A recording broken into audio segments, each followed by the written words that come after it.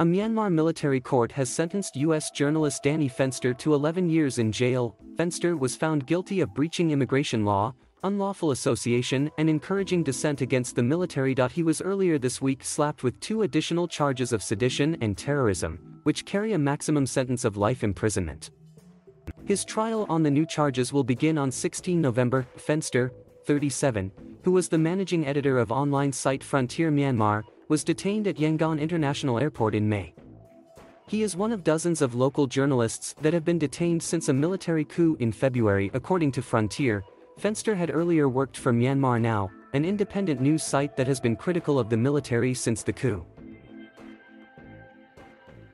The charges were all based on the allegation that he was working for banned media outlet Myanmar Now.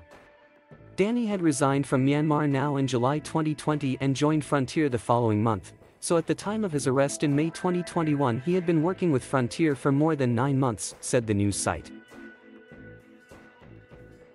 There is absolutely no basis to convict Danny of these charges. His sentencing on Friday comes months after a Japanese freelance journalist was arrested in Myanmar and charged with spreading fake news. Yuki Kitazumi, who was reporting for many of Japan's major news outlets, was one of a few foreign reporters in the country. Myanmar authorities maintain he violated the law but released him because Japan had requested it. The trial of Danny Fenster took place behind closed doors, literally, inside Insein prison, where he and many of those detained since the February coup are being held. We know only what his lawyers can tell us about the process. But the charges the military authorities filed against him are clearly absurd. The prosecutor stated that they relate to his employment by the independent news organization Myanmar Now, one of five media organizations the military targeted after the coup, cancelling their licenses to broadcast.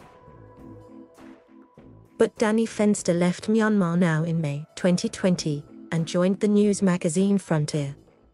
This was made clear in court by his lawyers, supported by document, yet ignored by the judge, who gave him the maximum sentence for the three charges. So, why is the military junta going after an American journalist like this, piling even more serious charges on him in the past week?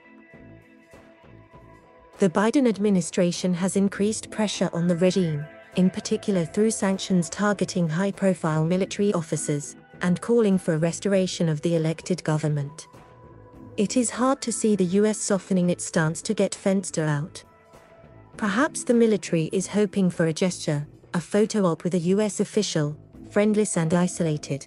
The junta might consider that a worthwhile prize for releasing him.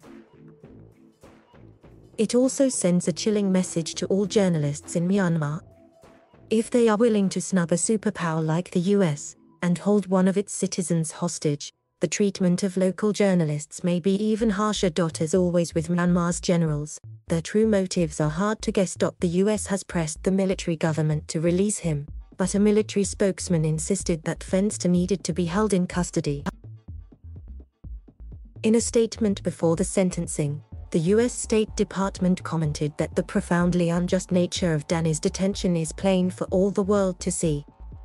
The regime should take the prudent step of releasing him now. The US has not yet commented on the ruling. Meanwhile, Richard Horsey, a senior advisor at Crisis Group Myanmar, described the sentence as outrageous.